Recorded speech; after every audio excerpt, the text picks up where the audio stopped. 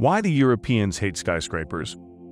Europe, although being one of the most industrialized, highly inhabited, and economically wealthy continents, has remarkably few skyscrapers, especially in comparison to Asia and North America. 66% of the continent's 218 skyscrapers are located in only five cities London, Paris, Frankfurt, Moscow, and Istanbul. Why aren't other important European cities adopted skyscrapers? How they survive without the substantial inner-city space and floor area provided by these ingenious structures? And will everything in our increasingly urbanized world soon change? When skyscrapers rose to prominence for the first time in the 19th century, first in Chicago and then in New York, many European towns were already firmly established with big ancient buildings and public spaces, leaving limited place for large new constructions. During this era, the majority of European cities were zoned more uniformly and did not experience the significant demand for floor space in important areas that often drives high-rise growth. Also, as the strength and influence of North America expanded, so did the cultural competition between Europeans and Americans. Americans believed that Europe's class system was antiquated, while Europeans believed that some American ideas were eroding European traditions and way of life. Consequently, each continent grew hesitant to absorb the principles of the others. While North America desired to become the paradigm of a new era, Europe strove to maintain its legacy. This explains why skyscraper development was first slow to catch on in Europe, but it does not explain what has kept the continent back since then. Many believe that, in the aftermath of World War II, European towns would modernize and mimic the towers sprouting in North America. In Western Europe, however, where many towns have lost their monuments and ancient structures, a strong urge to reconstruct what had been destroyed emerged. Europe's reduced population at the period meant that there was little need for floor space, the primary factor driving skyscraper building. Consequently, modest constructions replaced those that could not be preserved or renovated. In Eastern Europe, the Soviet Union's redevelopment efforts consisted mostly of low-rise, repetitive structures intended to rehouse the majority of the people. During this time, the first skyscrapers in Europe began to rise. Not because the economy was improving, but because the Soviets wanted to demonstrate their strength and influence.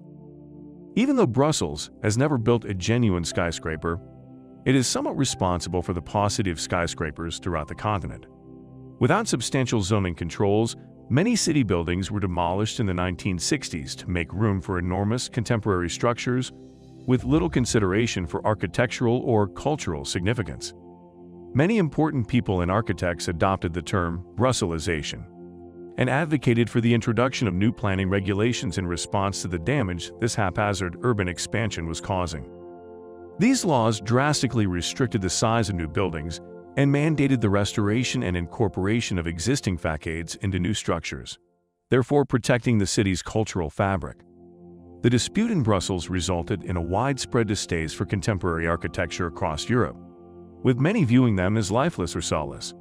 Numerous cities followed similar laws and designated regulated districts, such as La Défense in Paris, to prevent high-rise building away from historic centers. At the beginning of the 21st century, views toward tall buildings were softening throughout the continent, as architectural styles shifted away from box-like structures toward more distinctive forms as the globe grew more globalized. Several skyscrapers have risen in London, Paris, Moscow, Istanbul, and Frankfurt since the early 2000s, as the demand for business space in these cities has soared. In contrast, smaller European towns with more modest growth have shifted their attention to the environment and enhancing the living conditions of their residents. In recent years, metropolitan regions in Scandinavia and Central Europe have routinely scored among the greatest in the world in terms of sustainability, happiness, and well-being, while maintaining their economic significance within their respective nations. However, urban skyscraper building is no longer only driven by economic expansion or the demand for commercial office space. With 60% of the world's population projected to dwell in metropolitan regions by 2030, residential skyscrapers are gaining popularity, notably in Asia and North America. As many traditional rural-based businesses become mechanized, millions are flocking to cities and large urban centers, generating a considerable demand for residential space that is frequently satisfied by high-rise buildings.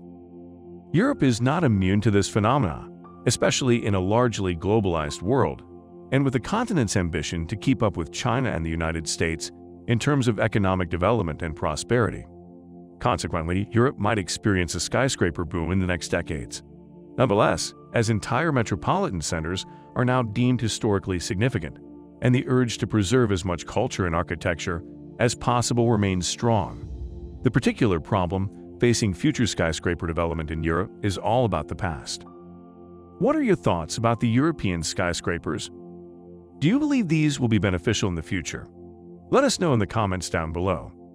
Thank you for watching, and we will see you in the next video.